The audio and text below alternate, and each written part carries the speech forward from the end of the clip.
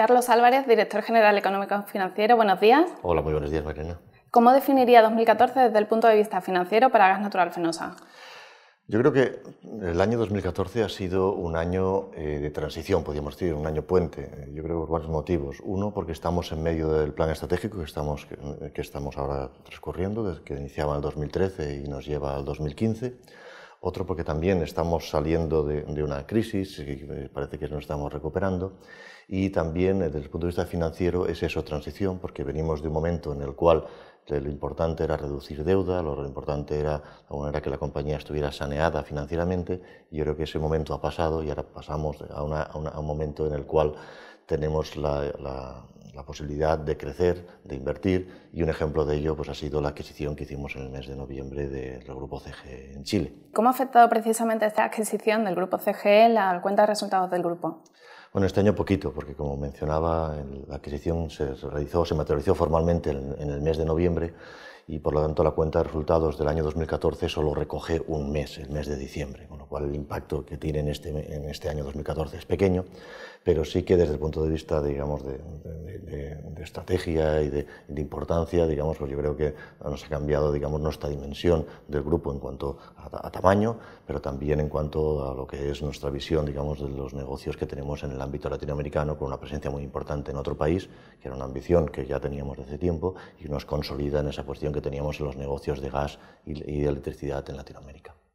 La diferencia en los tipos de cambio en las monedas de Latinoamérica han afectado negativamente a la cuenta de resultados del grupo. Eh, ¿Cómo se ha paliado este efecto y qué previsión tiene para 2015? Es verdad que en el año 2014 nos ha afectado, pero yo creo que somos una compañía que, que estamos, podríamos decir, muy bien diversificada.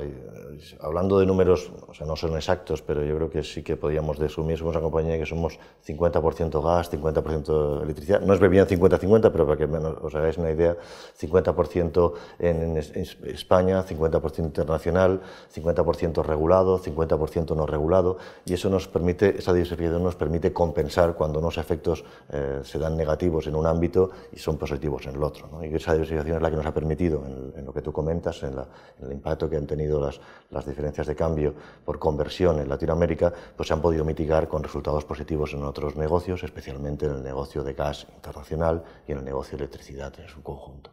Teniendo en cuenta la situación macroeconómica que hemos vivido en los últimos años, ¿cuáles han sido las claves para que Gas Natural Fenosa goce de una situación financiera saludable? Hicimos los deberes. Yo creo que la adquisición de Unión Fenosa pues, nos hizo eh, pues, prepararnos para, para, para, para, esa adquisición y de alguna manera pues, nacimos con una deuda muy grande y nos pusimos como prioridad el, reducir endeudamiento, el situarnos digamos, en unos parámetros que nos permitiera acometer eh, esa transición hacia el crecimiento y eso hacerlo antes de que el, que el demás nos ha permitido de alguna manera pues, estar saludables desde el punto de vista financiero. Es verdad que, también son los pilares que tiene la compañía. Tenemos un modelo de negocio diversificado, un, modelo de negocio eh, que, nos ha permitido tener una, generación de caja positiva incluso en los años de, crisis y eso ha añadido a todos los aspectos digamos, que hemos hecho adicionales como para reducir la deuda, como desinversiones, reestructuración de la propia deuda, etc. Pues ¿Qué retos plantea 2015?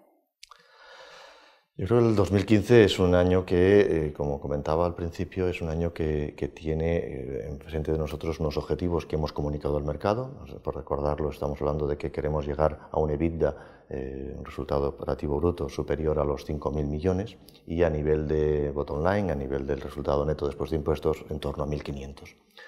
pues ese es el objetivo más claro que tenemos, cumplirlo. Yo creo que con la adquisición de CGE, pues creo que estamos pues, más tranquilos desde el punto de vista para, para la consecución de esos objetivos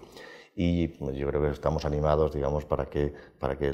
una vez más cumplamos los objetivos de los, plan, de los planes estratégicos que nos marcamos y que el 2015 no sea una excepción y lo hagamos. Y todos los, los, aspectos que vamos a hacer desde el punto de vista financiero van a ir más dirigidos a temas cualitativos, que puede ser como oye, pues incrementar la, la liquidez, que la compañía pues tenga pues esa liquidez que nos permita afrontar los rendimientos futuros. También pues refinanciar parte de la deuda, pero siempre y cuando, cuando sea un coste competitivo, pero siempre pensando en vencimientos más allá del 2017 y que todo ello pues, nos permita mantener una deuda media, de la, un vencimiento de la deuda media pues, superior a los cinco años, que es lo que tenemos ahora. Muchas gracias, Carlos. A ti.